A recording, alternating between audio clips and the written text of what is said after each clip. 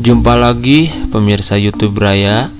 Sekarang kita masih membahas dalam acara bagi-bagi aset desain grafis menggunakan Adobe Illustrator, CorelDRAW dan juga Photoshop ya.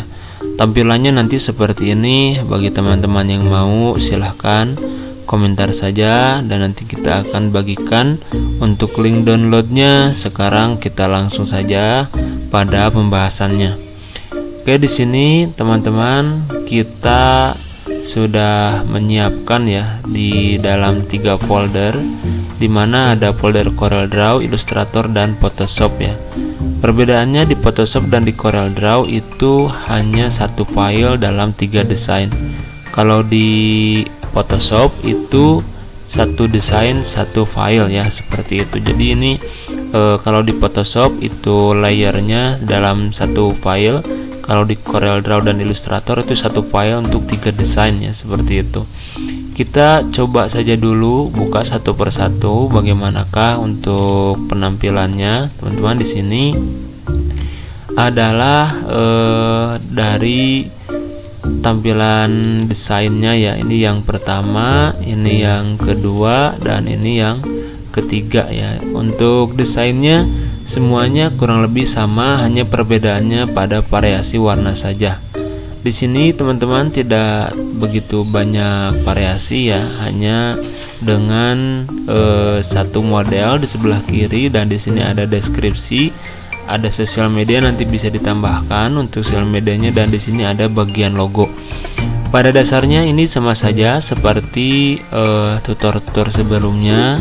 Cara menggunakannya itu sama. Di sini masih dalam bentuk di grup ya.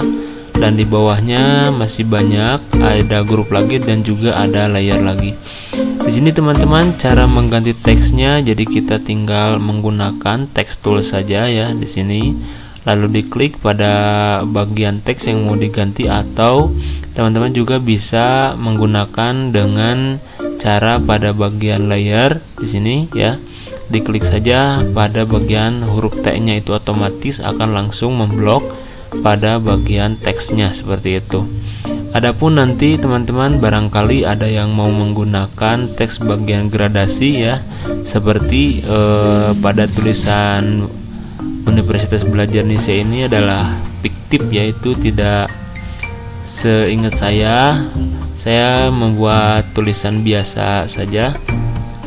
Di sini, teman-teman, kita bisa e, mengganti dengan warna gradasi itu caranya menggunakan blending mode ya. Kebetulan ini sudah dibuatkan dalam bentuk e, image ya. Jadi cara membuat gradasinya teman-teman bisa menggunakan blending mode di klik kanan pada tulisan atau pada objeknya terus teman-teman silahkan digunakan blending mode ya di sini bisa dipilih pada gradient overlay. Setelah itu diklik saja pada gradiennya. Dan ini teman-teman bisa dipilih untuk stylenya ya. Ada yang dua warna ada yang dengan transparan dan lain-lain. Dan ini untuk uh, warnanya tinggal diklik saja pada bagian bawah. Terus kursor Anda disorotkan pada bagian warna yang dimaksud ya seperti itu. Ini juga sama seperti yang tadi disorotkan saja. Ini bisa kita turunkan sedikit untuk warnanya bisa dilihat ini variasinya atau untuk stylenya sudah berubah. Begitupun ketika kita mau menggunakan efek yang lain seperti drop shadow ya. Di sini ada untuk drop shadownya seperti itu ini untuk e, pengaturannya tinggal diklik saja pada bagian e, satu jajar dari namanya ya nama drop shadow sendiri. Bisa dilihat teman-teman ini untuk opposite-nya atau untuk distance-nya juga dan lain-lain ya itu bisa disesuaikan nanti digunakan dengan cara menggunakan gradasi.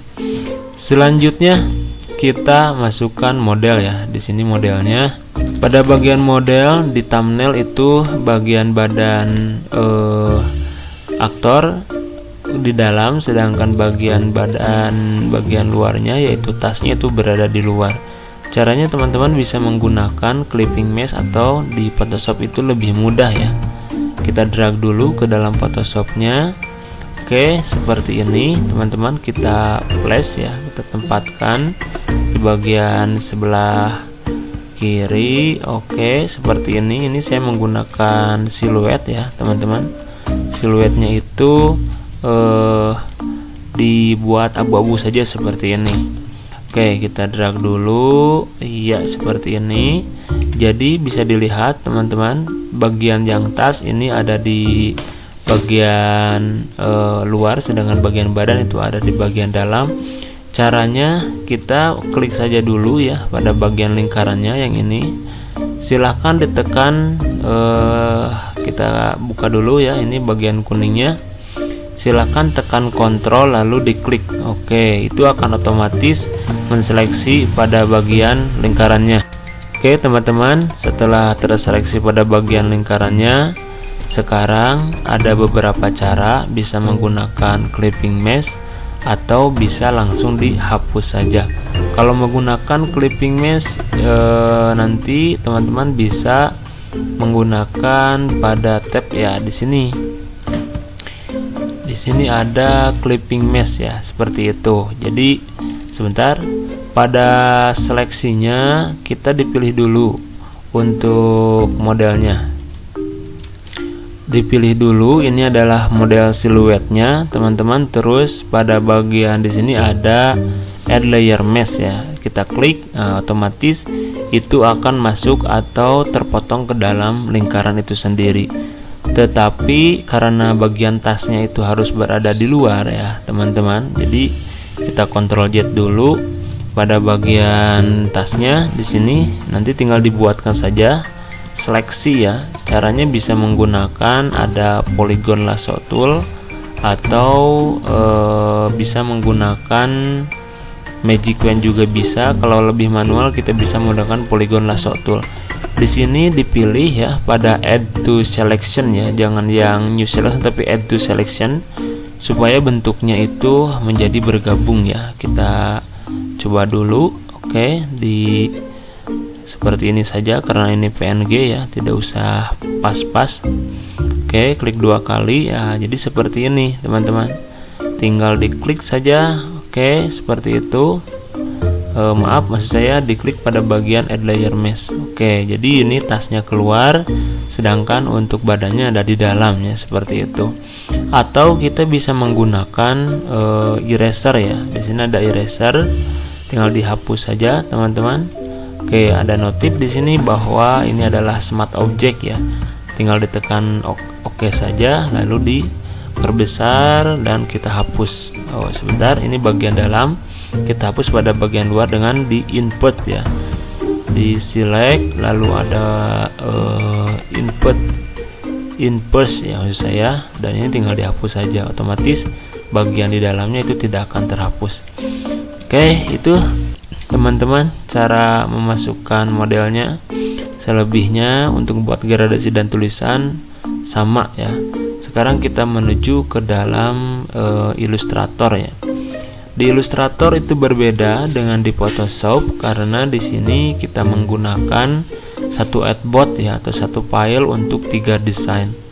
Oke di sini teman-teman kurang lebih sama ya seperti di Photoshop karena satu aplikasi atau satu produk kita tinggal diklik saja pada bagian teksturnya ya seperti itu. Ini lebih mudah. Sedangkan untuk membuat modelnya tadi di clipping mesh ya. Kalau di sini uh, add layer mesh ya. Kalau di Illustrator itu adalah clipping mesh. Jadi caranya teman-teman tinggal di buat saja seperti ini ya. Oke kita perkecil dulu. Uh, di sini cara membuatnya harus menggunakan objek. Jadi yang lingkaran yang ini kita kopas dulu Ctrl C Ctrl F ya. Sekali lagi Ctrl C Ctrl F. Lalu kita naikkan ke atas di klik kanan. Lalu ada transform uh, maaf saya ada arranger lalu ada bring to front ya kita hilangkan saja di sini untuk uh, filenya dan outline-nya kita ganti menjadi warna hitam.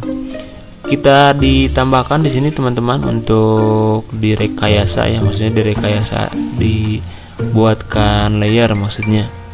Jadi ini tinggal ditarik saja. Oke melebihi dari eh, tas pada modelnya setelah itu silahkan dipilih ya keduanya seperti ini teman-teman ya. Sebentar ini tidak terpilih. Kita pilih bagian iya jadi harus kedua-duanya lalu tinggal diklik kanan dan di clipping mesh. Oke. Seperti itu cara memasukkan model di uh, Illustrator. Sisanya sama saja. Selanjutnya kita masuk pada tab Corel Draw ya. Di Corel Draw yang ini masih sama teman-teman formatnya. Masih AI tapi ini bisa dibuka di Corel Draw ya. Ini yang saya gunakan Corel Draw X7 tinggal di drag saja atau dibuat kampas baru dan diimpor juga boleh seperti itu. Nah, ini sudah ada teman-teman. Cuma di sini ada notif ya. Eh, pada bagian style di sini di bagian belakangnya itu harus di set ulang ya. Harusnya jangan highlight tapi dinormalkan saja. Ini juga sama tinggal dinormalkan. Ini eh, admin juga kurang paham kenapa ini bisa terjadi ya. Eh, karena pada di AI nya itu tidak disetting seperti itu. Oke tinggal eh, sisanya teman-teman sama saja ya. Tinggal di ungroup all dulu. Ini sudah perbagian dan sekarang tinggal di masukkan cara masukkan modelnya saya rasa ini sama saja. Kalau di AI namanya clipping mesh ya kalau di sini namanya power clip ya. Cara memasukkannya teman-teman kalau di Corel Draw itu harus eh, gambarnya sama ya seperti yang tadi di paste dulu Ctrl C ya Ctrl P ya sebentar. Ini tidak bisa teman-teman karena kena razia ya harus dikontrol D saja. Oke kita dihilangkan untuk filenya dan outline-nya. Diadakan ya. Kita sesuaikan dulu lalu pada bagian tasnya ya teman-teman bisa dilihat dulu di sini. Pada bagian lingkarnya kita naikkan ke atas order to front page ya. Setelah itu seperti yang tadi ditambahkan. Oke di perbedaannya di sini. Yang sedikit ya pada Corel Draw itu bisa dipilih ada cup ya cup node ya jadi tidak usah ditambahkan node yang kedua tinggal diberikan cup node saja. Oke seperti itu. Tinggal pada bagian gambar klik kanan power clip inside dan diklik pada bagian garisnya. Oke itu teman-teman seperti itu. Oh ininya gambarnya terlalu keluar ya. Dimasukkan saja. Oke sebentar. Kita naikkan dulu ya. Turunkan. Iya seperti itu. Klik kanan power clip inside. Oke hilangkan untuk outline nya sisanya sama saja cara menggunakan gradasi tinggal menggunakan interaktif tool. Cara mengedit tinggal diklik dua kali saja untuk tulisannya silahkan digunakan. Tentu bisa dibaca untuk kriteria atau ketentuan cara penggunaannya. Mudah-mudahan bermanfaat. Mohon maaf bila ada kesalahan. Terima kasih. Salam belajar Nesia Channel